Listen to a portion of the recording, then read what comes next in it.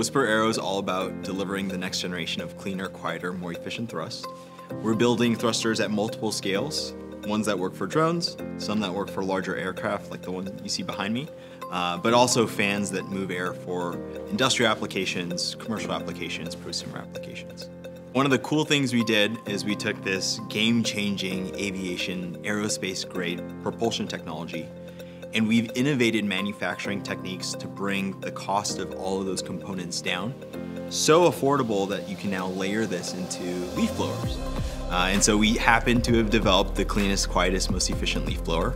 So when you look at the Whisper Jet behind us, um, or some of the other advances in drone delivery that we're working on, it, it, it probably seems like science fiction.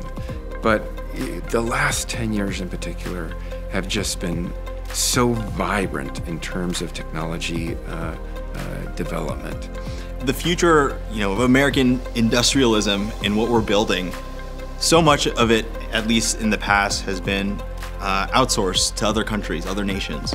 And to really create a robust supply chain and an ability to react and build the future, uh, it takes not only production and manufacturing, a lot of which is already in Tennessee, but it needs engineering, it needs research and development, it needs design.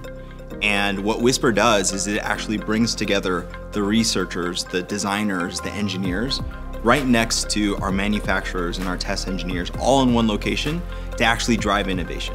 We have an 8,000 square foot facility in Nashville that's for engineering and rapid prototyping, but we also have a facility here in Crossville that's 40,000 square feet for testing and manufacturing.